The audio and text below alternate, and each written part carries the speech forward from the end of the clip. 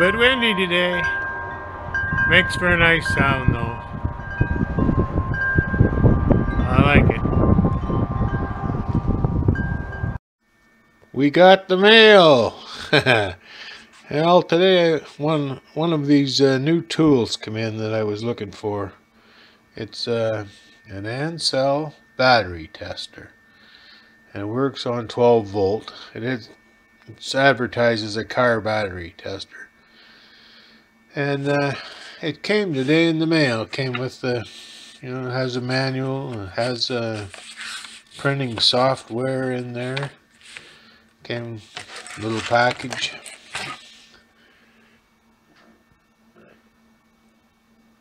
Nothing uh, too spectacular, but uh, looks like it could be a good tool.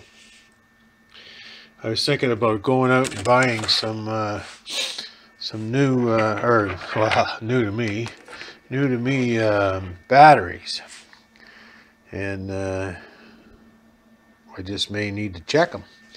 So I I tried it out on here's these old ones that I that I uh, tried to save well, I did save them, I guess. So, it's pretty easy to use. You just make sure, you know, you're on the, the right ones. Of course, it's always hard. Sorry about that. It's always hard with one hand, as you guys know, that try to do this every day. Anyway, positive to positive.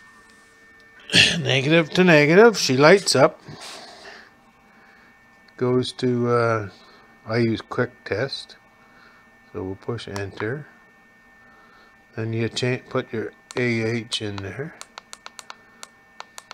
so my AH is 180 on on these old batteries I showed about I tried to save enter testing.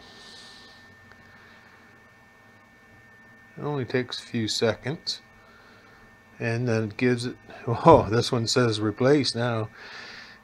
I tested it 10 minutes ago and it said it was a good battery so sometimes I wonder. My ohms are a little high on that and that's where I think it needs to have another uh, round of battery uh, maintenance on it. I got my battery charger going over there so it's busy. Let's try the other one. It's probably bad too.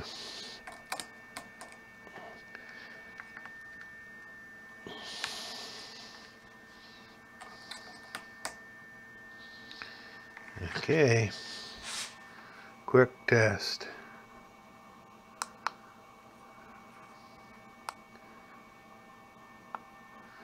When I had these charged up this afternoon, they both passed.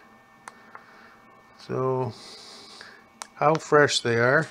I guess if they passed after a day after the charging would be better. This is going to fail. I'm pretty sure. Yeah, replace. There's the ohms again are high. Shows on the front. I don't know if I can get these. It shows on the front battery specs. Most batteries, right? And uh, I think my ohms are three.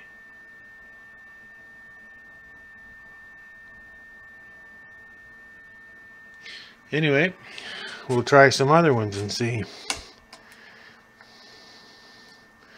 I did manage to get all good good ones before, but like I said, I'm, I've been practicing on my on my uh, battery charger there. This one here I just got on the whole bank. I'm trying to bring back my other bank there. It's not doing too good. They all failed on those ones. So on this one, it only check only does uh, it only checks 12 volt. Too many things in my hand to do that. Get across, it'll quit on me.